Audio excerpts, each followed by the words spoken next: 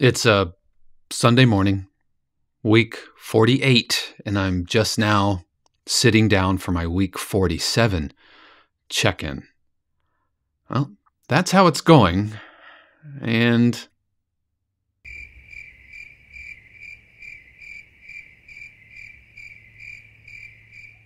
What is happening, everybody? This is Dave Kropf. Uh, welcome to my week 47 check in for my 52 cues, where I am committing to writing at least one cue for the entire year and coming into uh, into YouTube and talking about it, talking about my experiences, things that are going on in the industry, in my life, and all of that. But if you can tell by the intro, um, I actually don't don't have a cue to show you this week. And I debated for quite a while on how to talk about this. Should I just muscle through it? Thinking that maybe I could kind of squeeze one in and, and kind of, you know, using smoke and mirrors, make it seem like I wrote it last week. But I just thought it was best just to come come into the channel and talk to you and just be honest and transparent about how it goes sometimes. So no, I don't have a cue to show for week 47 because I have very much overextended myself.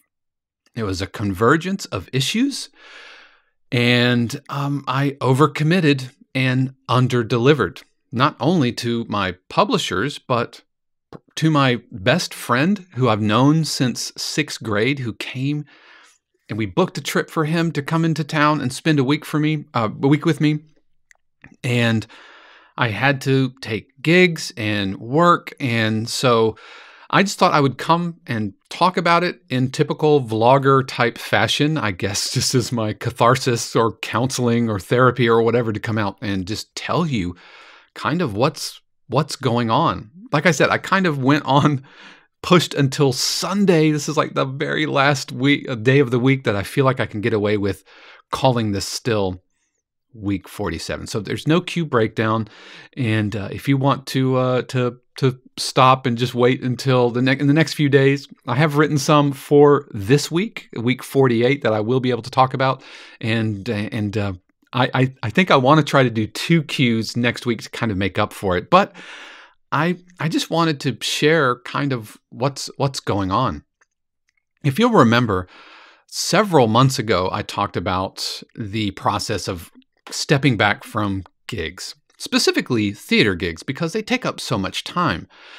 And have, having that kind of epiphanal moment where maybe I'm not going to be a professional drummer and and uh, or that's not going to continue to be a part of my life.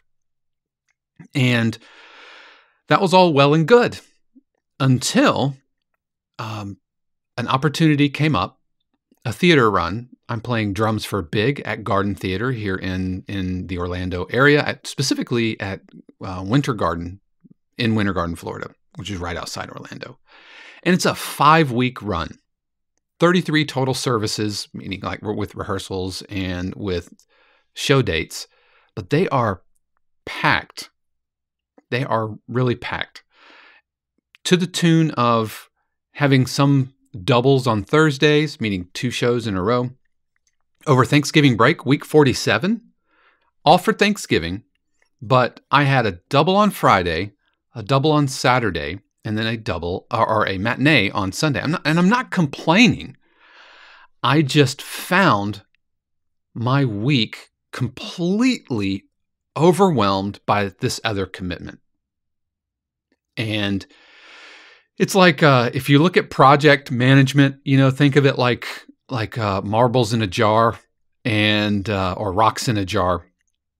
And so what you want to do is put the big rocks in the jar first, and then put the little rocks around the big rocks so that the big rock still takes up the most volume, but the little rocks can all still kind of fit in your jar, your jar being the bandwidth that you have available to do whatever you're trying to do. For most of us, our day job is a pretty big rock. And for me, teaching at Full Sail, my, my quote unquote day job is a big rock. Being a composer, specifically a production music composer, is another big rock. And I have, for the longest time, managed to keep those very solidly in the jar together. Put another big rock, your relationships, your family. I, I think, I think that that should be one of the biggest, if not the biggest rock. And so I've got these these these really big rocks all in my jar, and taking a couple of other little rocks, some gigs here and there, fitting them around the big rocks that are already there. But then I took a giant big rock, 30 a 5 week commitment. Uh, I guess closer to 6 weeks when you think about rehearsals leading up to the show. It's 5 weekend run. 33 total services over 5 weeks. And uh, by the way, I'm using the term services. It's not like church service. That's just kind of the, the term for like theater gigs. A service equals a rehearsal or a show or a dress or a preview or whatever. They just call them services. Well, I am providing my services. So this big rock came in and pushed itself into my jar. And see, the thing is, the thing that's super frustrating for me is I know this already. I, I already knew this about myself. I knew this back several months ago. I forget when I when I did that entry, when I talked about stepping back from these types of commitments. And yet, when you get the call for a big chunky run and they're they're able to pay out, you know, what will cover a mortgage payment for a month, that's that's not nothing. Sprinkle on top of that, uh, Shannon, my wife, recently left her position as music director at her church. And so suddenly I'm like, okay, do I have the luxury, if you want to call it that, of turning down work, especially work that is right in front of you and payment that is right there versus production music, which takes months and months and months and months to pay out and it's not that I, I it's not that I felt like I couldn't say no. I wanted to make my wife leaving that situation, which I think was was healthy for her and everything, because things had gotten a little sideways, and so you know, just mm, let's just step back from that.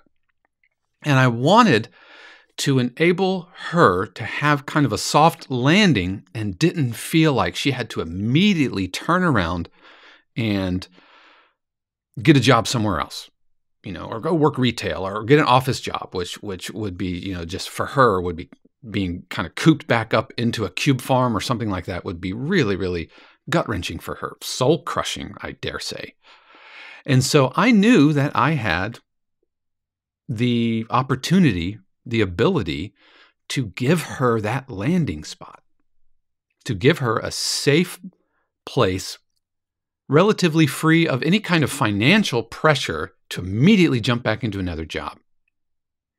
This gig came along. And what's crazy is, here's what's crazy. And this is how I know the universe, you know, has my back. Within 24 hours of her resigning from her position, I got three theater gigs, or I should say, three calls for three different theater gigs, of which this big long run was one And then two other ones that I had to turn down because I had taken the Garden Theater gig. So I feel confident in having taken it. Where I really, really kind of overcommitted was probably leading up into that. And like I said, my friend from middle school and high school, my best, longest, longest running friend that I've ever had in my life, comes into town. He comes into town a couple of times a year. Uh, his name is Saul Solomon, and so uh, we call it Salapalooza. So this was uh, our Salapalooza, and we had booked it. And he had booked his flight months ago. And I called and told him, "Hey, man, this is this is the thing that's happening. I really don't feel like I can turn it down because it's it's helping Shannon out and all of that." But then other other commitments came in. I got a call uh, for possible theme park music I saw um, briefs come in for jazz drumming, which, which is why I have my drums set up.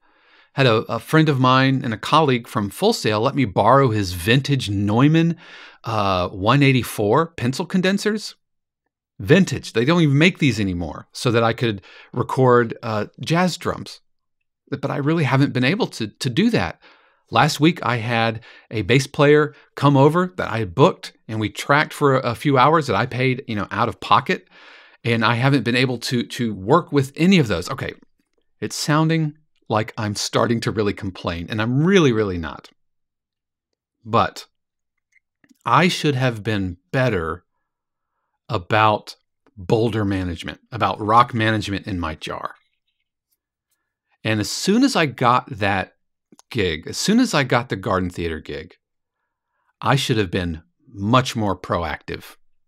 I should have gotten ahead. If, it, if I was talking to my students right now, I would be saying, hey, you knew this was coming. Why didn't you do your assignments ahead of time? I know this about myself, but I didn't. Instead, I kind of went along with my typical schedule.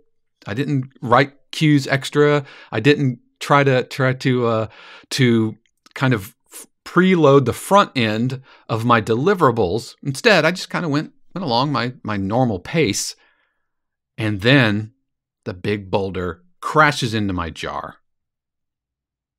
And suddenly, writing writing cues cues that not only do I have you know to show you guys, I have to show my publishers. So, what does all this have to do with anything? I'm not sure. It's just super rambly. And if you're still with me, thank you. I, I, I appreciate you. Uh, it's just about taking your own advice, listening to yourself. I, I didn't turn down the, the, the gig, even though past me would have said. I didn't feel like I necessarily had the luxury to turn that down. But I guess the moral of the story is when you see when you see the tracks turning up ahead, you've got to prepare for that. I, I shouldn't have gone along with business as usual. I should have written ahead of time so that I didn't have to make apologies.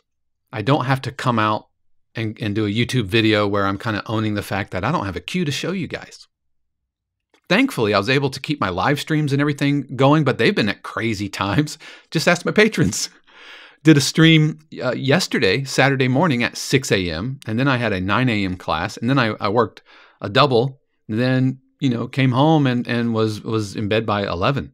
Again, sounds like I'm complaining. I'm really really not. I feel very very blessed to have all of the opportunities that I do. But if anything, I want my tale to be a cautionary one to encourage you that when you see these big boulders coming at you, Indiana Jones style, is don't just keep walking. I mean, even Indiana Jones started running. so I should have I should have gotten ahead with it. I should have gotten ahead of it, I think is is what I need to do. Oh, and on top of all of that, while I'm complaining, I bricked my audio interface on uh, Wednesday morning. Turns out my Gen 1 Scarlett 18 i8 uh, audio interface had a firmware update, and then I launched an old version of the software and it bricked it. And it, it's old, it's probably about eight years old. It was a Gen 1. It was definitely kind of on its last leg, I guess. And I I haven't really turned it off, mm, which is is on me. It just stays stayed powered on, and so that was another big boulder chunked right into my jar. And so my Wednesday, where I was going to do a video and write a cue and and bring it to you, that got eaten up. Okay, so again, if you're still with me, thank you very much. This has been very rambly. I'm not going to edit it. I'm just going to put it out there and hope that it helps somebody out there dealing with these same things. But I wanted to come out, I wanted to own it, I wanted to talk about my process because that's what this vlog is all about. There are going to be times when big boulders are coming at you, and if you have the opportunity, try to get ahead of them and don't just wait for things to go sideways and then I guess make make apologies. I guess. Um, people that uh, that I want to thank are my Patreon patrons whose support helps keep this channel going. Their uh, their contributions uh, are, are very much appreciated and gives me uh, motivation, energy to keep going. We have been able to keep the live streams going because one of the benefits of being a Patreon patrons is you get access to my weekly music production live streams. Yesterday we were working on a Gypsy Jazz cue, and I recorded melodica and um, and ukulele layers, and so that that was a lot of fun. There is uh, information about my Patreon and uh, in the in the description below. But if uh, even if you don't ever want to contribute and you just want to come to the channel and receive, that's completely okay too. But guys, that's going to do it do it for me for week 47. Let's see what week 48 has to offer, and uh, maybe maybe I'll come at you with two cues. But I really appreciate you guys. Thank you, thank you so much for hanging out with me today. Uh, until next time, peace.